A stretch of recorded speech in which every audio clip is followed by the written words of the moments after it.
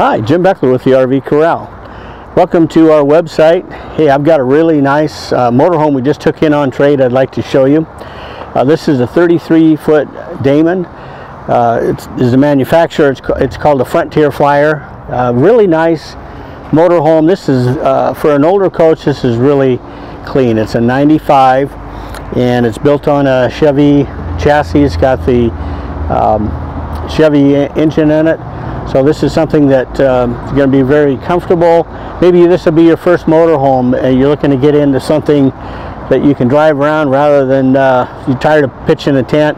You want to get in and uh, just jump in and do some traveling, serious uh, camping. This would be a good opportunity. Really, again, very clean motorhome. A 33 is kind of a mid-range, probably on the smaller to, to mid-range as far as overall size big enough to be comfortable when you're in it, but not so big that you have a hard time finding a spot to, to camp at. So as we look down the side, uh, you can see it's got a nice big patio awning. Uh, so when this is opened up, you're going to have a really nice little patio area back in here.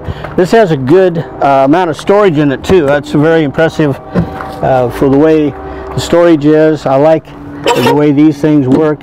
You've got uh, a large opening there. You can see you've got a nice storage. I, I see that they put a, a, little power strip there too, so you've got power to uh, be able to plug in accessories.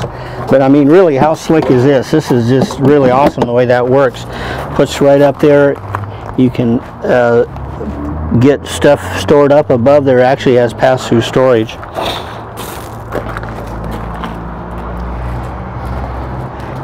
So you get this out and have some fun. Uh, this one is got a, even a little bit bigger door. It opens up and you can see it goes all the way across too up on the top part. Now this uh, motorhome does have a backup monitor on it and it has leveling jacks. You can see it does have a ladder to get up on top. You need to go up and do any uh, cleaning and keeping your uh, roof, uh, all your uh, caulking around your vents and air conditioning, all that, you want to make sure that all stays good and uh, not crack on you. Notice on this side too, you do have window awnings. So if you're camped somewhere where you got the sun exposure uh, that's pretty intense, you can pull those awnings out, help block some of that sun. You can see the windows are tinted, so that's going to keep a lot of that uh, the intensity of the sun down but it's good to have those awnings too. Notice you've got this looks like this has a little slide out too. I guess we'll just pull this out and show you how that works. That's pretty slick what they've done there. Then your power cords right here also. So utilize the space really well. You got your power cord hooks up right here this is where you're going to be uh, hooking up your sewer. Even has uh, outlets over here for uh, cable. So again, really a ton of storage on this motorhome. Let's take a walk around. Let's go back inside.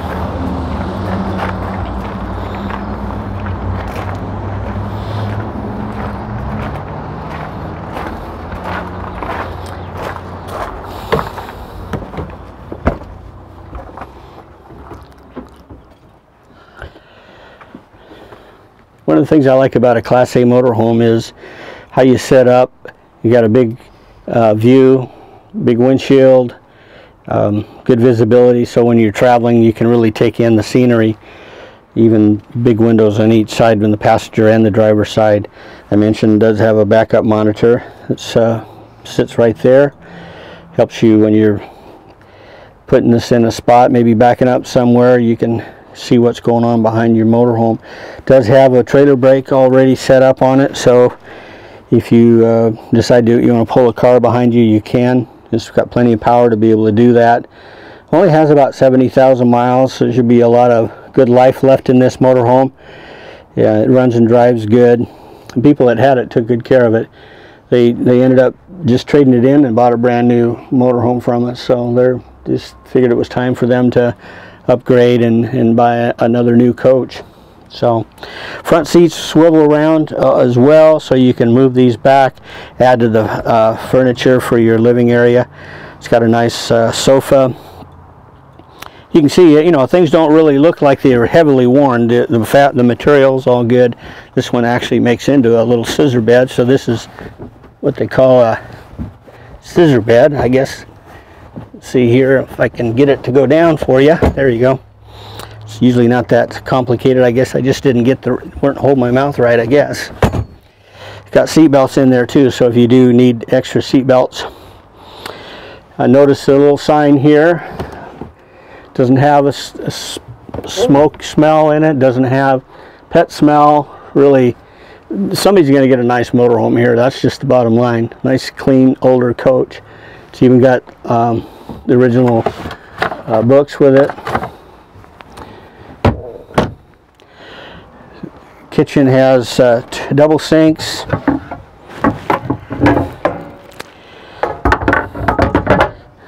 These are nice too. You got you can use these cutting boards actually for additional workspace or you know to do some prep work on.